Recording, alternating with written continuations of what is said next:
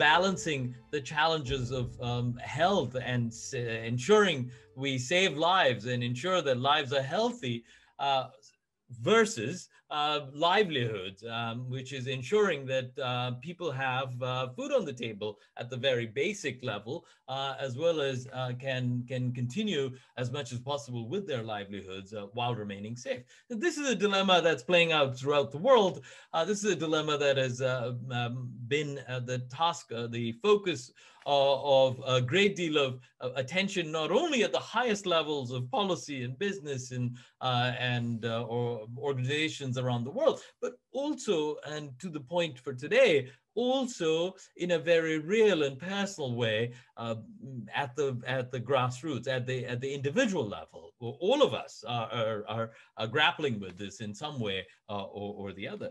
Now when we when it comes to rural health in, um, in specifically in india we have an additional um, um, opportunity and challenge, and that is that uh, any solutions will have to be not only um, implemented at the community level, but also adapted, indeed created at the community level. It's one thing for experts to sit around tables and uh, and cook up ideas, and we've seen disastrous responses that came from uh, experts sitting around conference tables and cooking up ideas uh, and expecting that uh, the world at large will follow it. It's another um, to have solutions that stick, the solutions that make a difference, especially in areas that are um, historically have been isolated and often deprived. So the voice of the village essentially brings together stakeholders from rural India, from urban India, global stakeholders to talk about issues that are pertinent and that are important issues that all of us want to work together to solve. While the more obvious um, health impacts of COVID itself are, are, are well documented, there are many other things that have taken a backseat. So today we will be exploring those things, including the very important topic of family planning. मेरा नाम आसिया गवंडी। मैं कोल्हापुर के एक छोटे से गाँव मौजे की रहने वाली हूँ। धर्मा लाइफ से मैं 2016 से जुड़ी हूँ। धर्मा लाइफ के साथ मैंने इंटरनेट साथी पर और भी बहुत सारे प्रोजेक्ट्स पे काम किया। धर्मा लाइफ ने एक ऐसा प्लेटफॉर्म मुझे बना के दिया कि लोगों में मेरी पहचान बहुत अच्छे से बढ़ गई। तो फिर मैंने चुनाव लड़ा और मैं 2018 में जीत कर आई। तो बहुत खुशी होती है कि आज मैं एक गाँव में इलेक्शन जीत चुकी हूँ और अब उस गाँव में मैं डिप्यूटी सरपंच हूँ। ही कोविड ने एंट्री की, समझ में आ गया। तो पहले हमने, हमारे गाँव की जो आने वाले रास्ते हैं, वो पूरे हमने सील कर दिए। तो पहले तो हमने गाँव में गाड़ी के थ्रू अनाउंसमेंट करा दिया पूरे गाँव में घूम के कि हम लोगों को ये ये सावधानियाँ बरतनी है और हमने गाँव को सील कर दिया है तो आप लोग कहीं बाहर नहीं जाए। जो कुछ भी प्रॉब्लम हो, आप हमसे डायरेक्टली आके मिले या हमें कॉल करके बताएँ और नंबर भी हम लोगों ने उन लोग को दिया था। पॉम्पलेट छपवाए, पूरे घर घर हमने पॉम्पलेट्स बांटे कि आपको क्या क्या सावधानियाँ बरतनी है। उसके साथ साथ हमने गाँव में ग्राम पंचायत के फंड से मास्क और सैनिटाइजर भी लोगों तक पहुँचाया। राशन, दूध पूरा घर तक पहुँचाने का काम किया। तो हमने वो दूर करने के लिए पूरे गाँव में, पूरे हर एक घर में जाके लोगों का मतलब टेम्परेचर भी चेक किया और ऑक्सीमीटर से उनका ऑक्सीजन भी चेक किया। कुछ नरेगा के माध्यम से लोगों को काम देने के लिए एक दो टेंडर मतलब पास किए हैं। लोगों को हमें काम भी देना है और कुछ लोगों के हमने जॉब कार्ड भी निकाल दिए हैं। व्हाट्सएप के थ्रू लोगों को समझाया ब्रॉडकास्ट ग्रुप निकाला, उसके थ्रू हमने लोगों को बता दिया कि क्या क्या करना है, क्या नहीं करना है। और उसके बाद जो संग्राम अगर के नाम से हमने एक ग्रुप निकाला था, उसमें लोगों के साथ हम मिल के काम कर रहे थे। जैसे कि उनको इंटरटेन भी कर रहे थे कि उन लोगों की क्या प्रॉब्लम्स हैं तो वो भी हमसे शेयर करें। हमें मतलब नई नई एक्टिविटीज़ क्या कर रहे हैं, वो भी हम लोगों ने उनको बताया। तो आ, हम लोग बार बार लोगों के टच में थे कि हमें आ, कैसे करना है क्या है। तो जिन जिन जिन लोगों की जो प्रॉब्लम्स थी उन्होंने हमें बताई और हमने उस पर काम किया। नमस्कार मेरा नाम मंगेश माने और मेरा ग्रेजुएशन हुआ है और मैं स्कूल में प्यून का काम करता हूँ और हमारी शादी को दस साल हुए एक दिन हमारे घर राजश्री मैम आई उसने हमें युवा प्रोजेक्ट के बारे में जानकारी दी। जानकारी देने के बाद हम दोनों ने तय किया कि ये युवा प्रोजेक्ट हम, युवा प्रोजेक्ट हम करेंगे। क्यों ना हम खुद ही सफल कपल है तो क्यों ना हम समाज के लिए अच्छा काम करूँ? धर्मालाई पाथ फाइंडर ने हमें कंज्यूमर मैपिंग का दो दिन का ट्रेनिंग दिया। ट्रेनिंग होने के बाद हमने लगभग दो मंथ अच्छी तरह से काम किया। उसके बाद एक मंथ के लिए काम ठप हो गया, लेकिन हमने लगभग 200 या 150 बेनिफिशरीज के फॉर्म हाउस टू हाउस जाकर भरे। उसके बाद कोविड आ गई।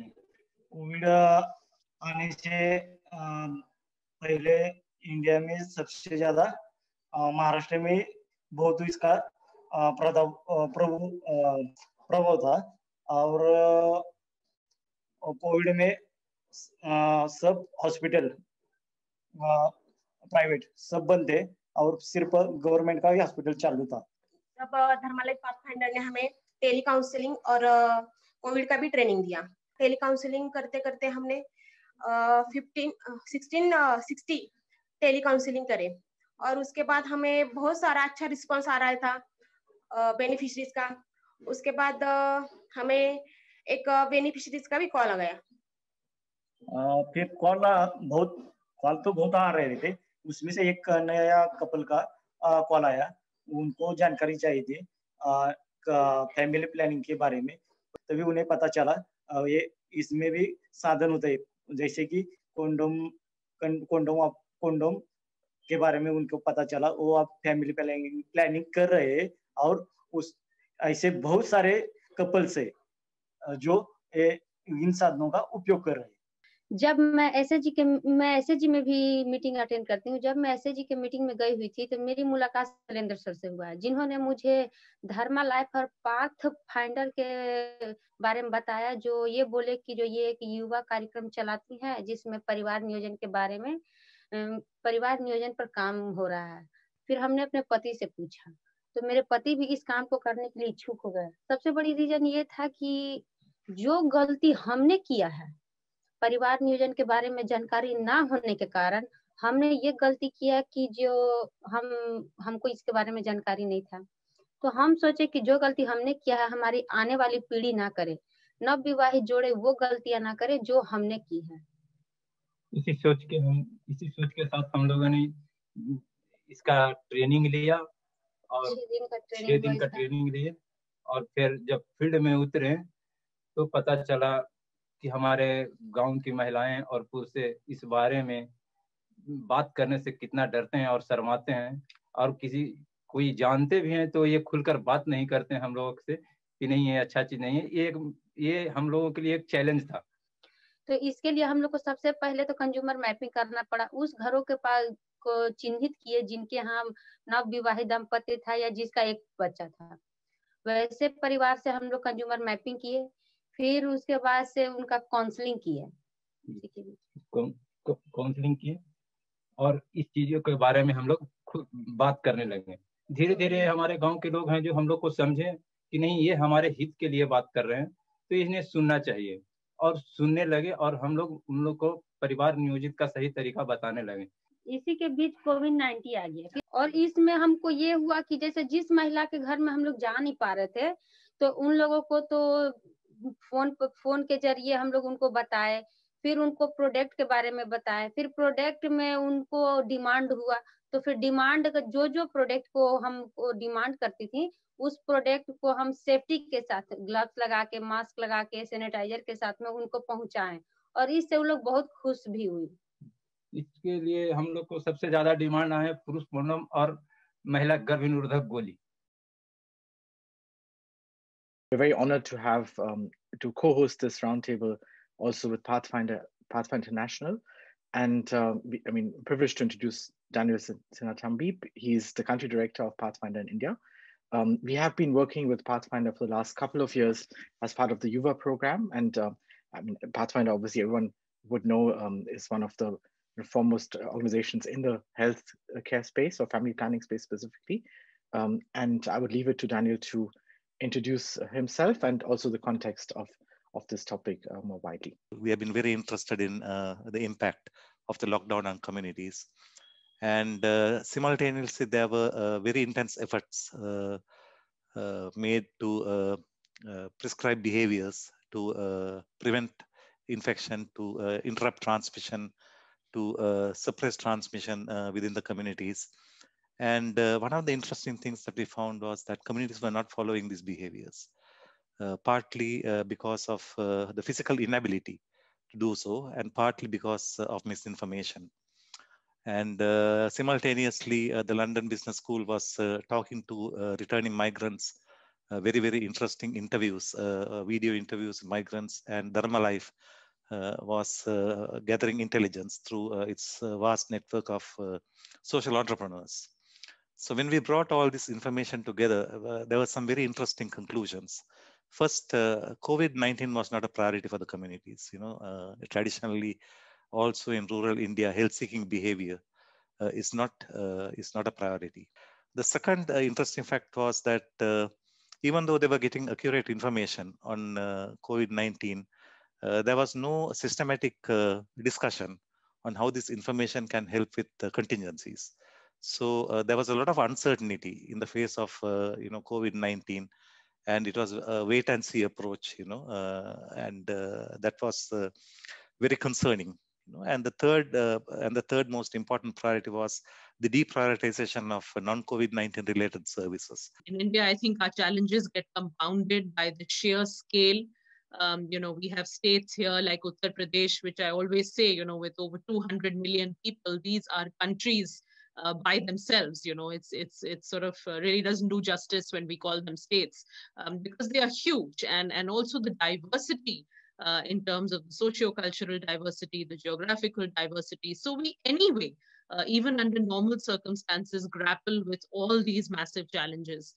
Uh, and the health system itself is, of course, very unevenly uh, sort of developed. Uh, there are certain parts of the country which can which can cope much better with the crisis situation, whereas there are certain other parts of the country uh, which get really very, very stressed in something like this. So, so I think we have a very difficult context here in India, um, but we have uh, tried, uh, as far as the government is concerned, the central government, of course, uh, has had a role of you know putting out the sort of broad guidelines to you know how do you keep up uh, the delivery of essential health services during these times. But really, the implementation then happens at the state government and the sub-state levels.